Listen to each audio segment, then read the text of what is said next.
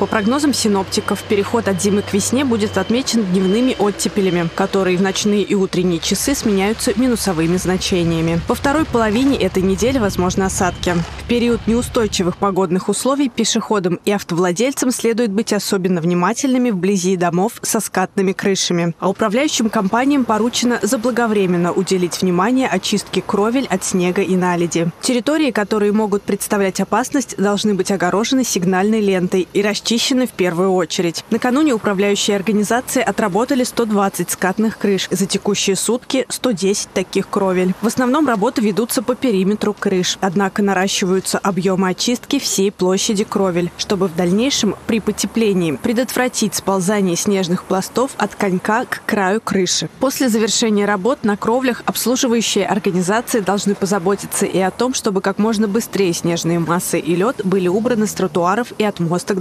На сегодняшнем общегородском совещании, которое провел заместитель главы Самары, руководитель Департамента городского хозяйства и экологии Александр Андреянов, внимание обслуживающих организаций и предприятий акцентировано также на том, чтобы не снижались темпы расчистки придомовых и дворовых территорий. Администрациями районов, Департаментом городского хозяйства и другими профильными службами ведется постоянный контроль за выполнением сезонных работ. На сегодняшний момент есть ряд а, замечаний, которые, с которыми не справились обслуживающие организации. Данные материалы пойдут уже для а, привлечения к административной ответственности. Большинство а, управляющих компаний, это СЖЖСК, собственно говоря, реагируют. За текущий зимний сезон в отношении управляющих организаций административными комиссиями внутригородских районов составлено 300 протоколов о привлечении к административной ответственности за ненадлежащее содержание придомовых территорий, дворов, дров и кровель в зимний период. Кроме того, документация направляется в прокуратуру и ГЖИ для дальнейшего реагирования. И таких материалов за сезон более 400. Это вынужденная мера только к тем компаниям, которые не реагируют.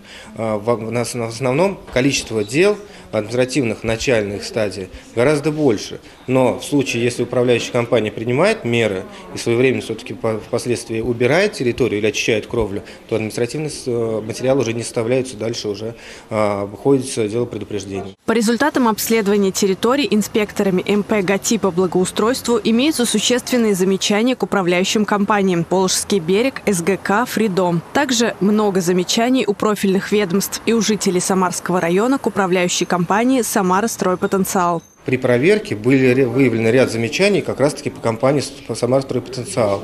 При э, передаче материалов для того, чтобы они устранили данные замечания, замечания были не отработаны. Сегодня их пригласили на совещание о том, чтобы выяснить, по каким причинам они не отработали, но, собственно говоря, на приглашение появиться на совещании и дать соответствующий комментарий они не отреагировали. Сегодня на уборку всех территорий Самары направили 3302 уборщика, задействовано 294 единицы техники. Профильные службы напоминают гражданам, что в период таяния снега необходимо быть особенно внимательными, находясь вблизи домов со скатными кровлями под навесами, козырьками подъездов, где в зимний период скапливается снег, а также по возможности убирать снег с карнизов и балконов своих жилых помещений. Галина Топилина, Григорий Плешаков. События.